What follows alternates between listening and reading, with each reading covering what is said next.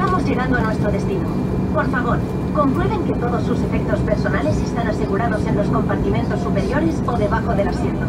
El respaldo de su asiento en posición vertical, los reposabrazos bajados, la mesita plegada, el cinturón de seguridad abrochado y la ventanilla abierta.